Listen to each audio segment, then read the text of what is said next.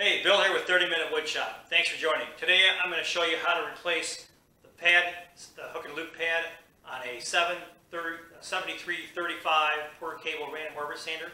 Uh, this random orbit sander is a very high powered aggressive orbit sander. Uh, this is what I grabbed just before I decided to grab a uh, belt sander. So it takes off a ton of material pretty fast. Uh, it's got a, uh, a uh, back, back port here with a vacuum skirt, dust collection skirt. Works wonders. I love this piece of equipment. But as you can see, the pad finally blew out on me, so I got to replace it. I got a new one incoming, so it's good. And unfortunately, this stuff is just crumbling. First thing you got to do is on the back here, there's a uh, screw that holds the dust collector cover, dust skirt on. So what you want to do is you want to unscrew that. And all this is basically a band clamp that clamps this piece of rubber down.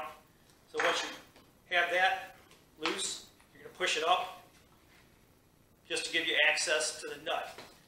Now this did come with a 5, sorry, 9 16 inch flat wrench that you can get in here with. And if you don't have this one that came with it, you could probably get a regular 9 16 in there. Unscrew it, set that aside. This says use 5 inch pad only on it, by the way. So, brand new pad. You see it's got a uh, threaded stud in the back. Put the wrench on.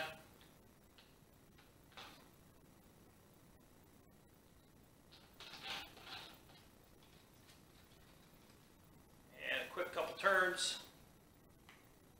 And there we have it. Pull the skirt back up. Now, make sure when you pull the skirt back up that you position the uh, dust ejection port or vac hose port where you need it. Pull it all the way down.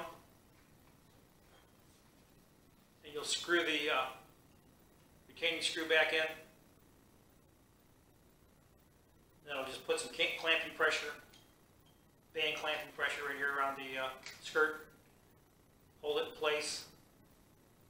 And there you go.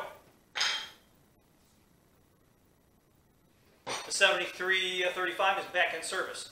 And again, this is one of my favorite sanders because it's a pretty aggressive uh, sander that I can use just before I decide to go ahead and uh, hit it with a belt sander. And uh, it works wonders. So I hope you got something out of this. If you did, do me a favor, hit like and subscribe. I'd appreciate that. And hey, folks, until next time, good making.